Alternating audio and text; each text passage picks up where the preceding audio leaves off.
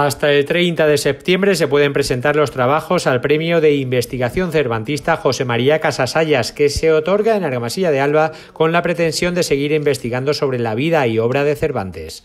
La séptima edición de este importante galardón ha sido presentado este martes en el Palacio de la Diputación Provincial. No digo nada nuevo cuando hablamos, por supuesto, de la relevancia internacional, cuando hablamos, por supuesto, de la repercusión que tiene su vida, su obra dentro de nuestra marca turística, como es el lugar que siempre recordarás, nuestra marca gastronómica, como es Sabores del Quijote, por supuesto el referente internacional, cultural, y en ese aspecto pues creo que es una labor y una obligación por parte de todas las instituciones de seguir e incrementando todo este conocimiento. Este martes comienza el plazo para que todos aquellos investigadores puedan presentar sus trabajos, que suelen ser tesis doctorales, para recibir este premio. Yo me atrevería a decir que es eh, el único y el más importante premio de investigación eh, cervantista que hay a nivel eh, internacional.